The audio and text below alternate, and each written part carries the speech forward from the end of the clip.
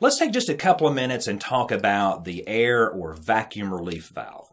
All this is is basically a very simple device, has a little O-ring on the bottom, and this is a half inch threaded piece here and we put this on a PVC fitting and what happens is is when your drip zone is under pressure this is pushed out and it seals up and allows the zone to work as normal. When the pressure drops below a certain point, this disengages and allows an air vent to happen here. And what that does is allow water to drain out the lowest drip emitter or the flush valve or, or whatever that you have as provision for water to drain out your drip line. Now, we don't need to use this for check valve products because basically a check valve traps the water in the section of drip line for efficiency's sake and so forth. So this would be completely ineffectual, but if we're using a drip line without check valves that may possibly freeze or need to be drained or flushed, then we need to put one of these on here.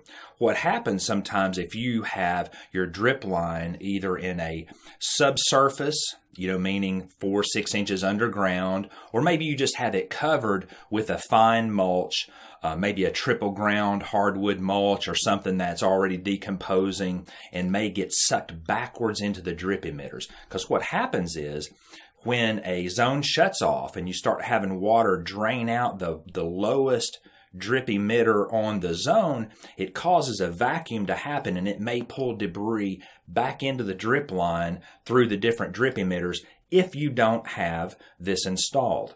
Now, a check valve drip line product won't do that. That's one of the reasons that we use check valve products in subsurface installations.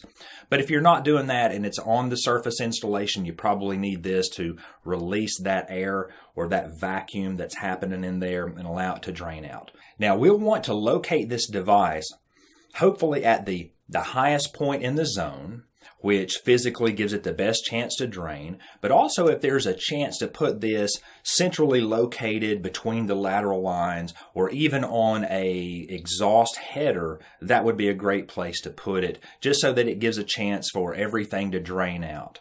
Now, there also may be some alterations to your calculations when using a vacuum relief valve.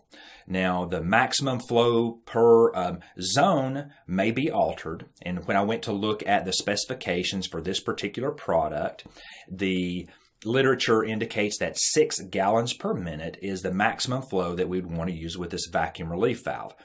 Now, when we're designing a drip zone using half inch tubing, we really want to keep our maximum flow rate down to four gallons per minute.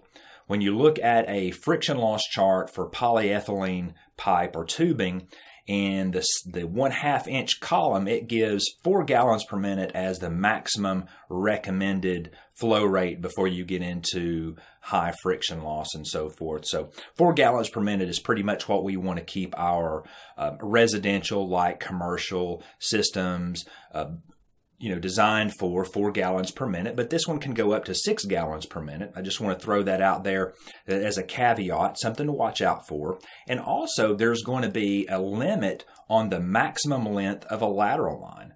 So this uh, this device may alter your calculations a little bit and how you lay out your zone. So definitely check with the literature for the particular product that you're using and uh, make sure that you calculate all this stuff on the front end so that you don't get into trouble and install a bunch of stuff that don't work. Okay, now there's a couple of different types of these, and this is kind of additional information if you're a typical residential, like commercial irrigation contractor, you're not going to get into these other kinds. This is more for advanced agricultural. But basically, what you have here is a, a kinetic device. It's also called a vacuum breaker or a large orifice air valve.